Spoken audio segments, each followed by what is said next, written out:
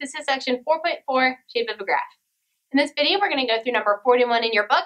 This, and this question is really asking a lot of things. It's asking us to find the critical point, points of inflection, the concavity, and the maxes and mins of this function. So let's go ahead get started. So the first thing we're going to find are critical points. Remember, this is wherever the first derivative is equal to 0. So let's find the first derivative. f prime of x is equal to 3x squared minus 4x plus 1. Now we need to take this function, set it equal to 0. And as you see, we have a quadratic, so that means we'll need to factor it down. So we have 3x here and x. Uh, we want a negative in the middle, so this will become x minus 1 and 3x, sorry, oops, yeah, 3x minus 1 here as well. And when we set this equal to 0 and solve for x, we get that x equals 1 third and x equals 1. So these are our critical points. All right, first one, check. Step two, find our points of inflection. Remember, points of inflection, that's wherever the second derivative equals 0. So now we'll just take the second derivative and we get that f double prime of x is equal to 6x minus 4. Setting this equal to 0 and solving for x, we get that x is equal to 4 over 6 or 2 thirds. And this is my point of inflection. Check. Okay, now intervals of concavity, that's dealing with my points of inflection. So I'm going to go over here, make my number line. I only have one point of inflection. Um, and now I'm going to put in test points on either side of my point of inflection into my second derivative to determine uh, the concavity of my original function. So 2 thirds is my uh, point of inflection. I can have a test point x equals 0 and x equals 2. Remember, I'm only worried about the sign. So when I plug 0 into my second derivative, I get 0 minus 4. This will be negative. And when I plug 2 into my second derivative, I get 12 minus 4. That'll be positive. So that tells me that f of x, my original function, is concave down on this interval because f double prime is negative, and it's concave up on this second interval from 2 thirds to infinity.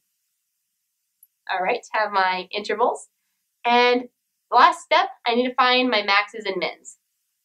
Okay, there's a couple ways you could find your maxes and mins. I'm going to go ahead and do the second derivative test um, because I already have my critical points, already have my second derivative, not too much more work. So remember, second derivative test, let's change colors again. Um, you take your critical points, plug them into your second derivative, and look at the sign. So my critical points, remember, are 1, 1 over 3 and 1. So f double prime of 1 over 3.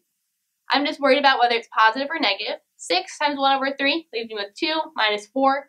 This will be negative. And f double prime of my other critical point of 1 will be 6 minus 4. That's a positive value. And remember, if I have a negative for my second derivative test, that means that this is a maximum. And if I have a positive value when I plug in my critical point into my second derivative, that means that this is a minimum. Okay, let's consolidate all of our answers into one convenient little box over here.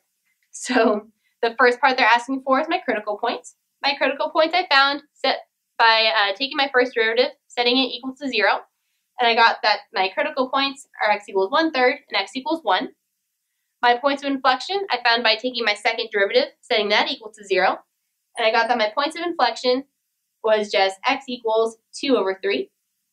My concavity I found by putting test points on either side of my point of inflection, uh, putting it into my second derivative, and looking at the sign.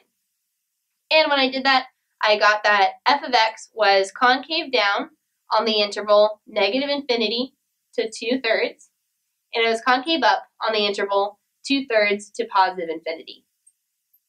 And last thing, to find my maxes and mins, I did the second derivative test, and I plugged my critical points into my second derivative and looked at the sign. Remember, if I did that and I got a negative, that meant that that critical point is a maximum. And if I got a positive, that meant that that critical point is a minimum. So when I did that, I got that my max is at x equals 1 third, and my minimum is at x equals positive 1. And that's it for this problem. I hope you found this video really helpful. The concepts covered in this video are true no matter what calculus class you're in, but all the sections and problems I referenced were from this textbook right here. And remember that if you're a registered Baylor student, we offer free tutoring on the first floor of Sid Rich. You can either schedule a one on one appointment online or just drop in whenever you're available during our business hours for free tutoring. For more information, feel free to visit our website.